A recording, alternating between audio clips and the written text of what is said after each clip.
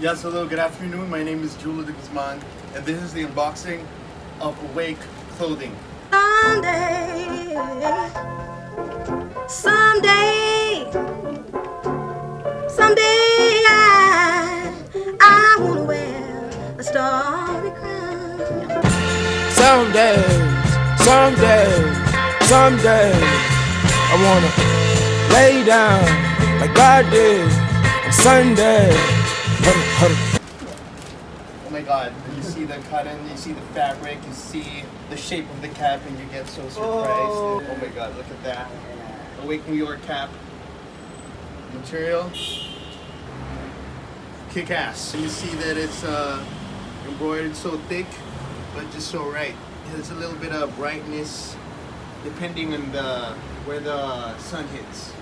A little bit of hair see your hair. Because if it's all in all, where's your hair? You know what I mean? Where's your hair? Stunning, like waiting for your Uber driver.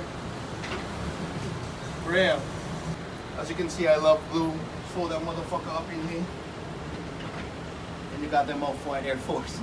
On that thing, you Air Force, Air, Air Max. Yes, this is tough to do. That curve right there, damn, he got it on point. You know what I mean? As you can see, I love blue. I love shades of blue. Gising tayo. Manila, gising, no? Hindi lang po to accessory, no? Statement rin po to. Ang gusto natin mangyari sa buhay natin, ang gusto natin mangyari sa Maynila, Awake New York, magising din tayo sa Maynila. Doon pa rin, wala pa rin tago. Yeah. Buhay pa rin siya. Kung ako kasi gusto ko konting bagsak na ganyan eh. Parang, uy, may book yan. Yan, yan. So we're down to the next part of our unboxing. So ngayon ho, na-reveal na natin sa ulo. Paano naman yung nandito? Yan.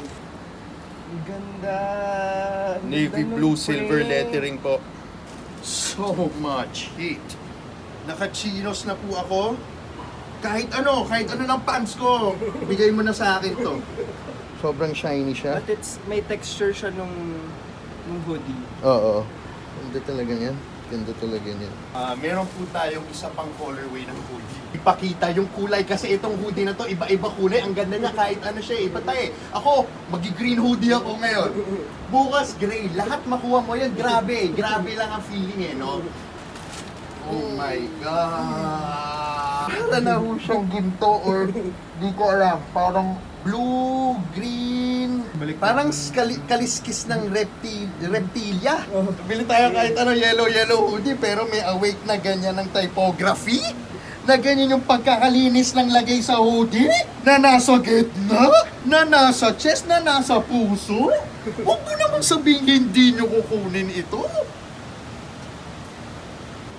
Gusto ko yung mga ganyan, hindi dito yung leg mo eh. oh.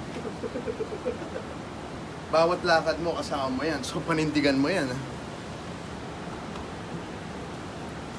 Way na makakuha ng isang piece of garment, grabe eh. Kuha niya eh. Kuha niya eh. Kuha ka, kuha niya. Kasi I'm a person with a above average size head circumference. Tapos ito, konti lang yung pag-adjust ko dito. Kasya na agad eh. You can say that the company really cares about. People of different sizes. Ah. So in terms of design, initially, I'd give it a strong 7.5. Pero dahil nga sa one size fits all niya in nature, na-bump up siya to 9 over 10. Yeah. I didn't expect the foil print to be this nice. This ko is a nice um, tone of yellow. ganda niya. Very now and uh, 9.5 over 10. Just because this is quite delicate, this print. Mm. Okay guys, so, thank every you, thank week you. may lumalabas na streetwear. Every week, try na try Every week, namin Abangan mo kami sa at the end of the day, ano lang naman eh, share ng pagmamahal namin sa kultura. And yun lang, para lang things ma- we spend, it's for you, namin for yun, you para sa inyo lahat. Oo. Salamat guys. Sa Bye. ulitin, salamat. Ingat Thank kayo, you. mabuhay. Awake, awake clothing. Sunday. Sunday, Sundays, I remember three songs. Sunday, that way, yeah, way, way, that day.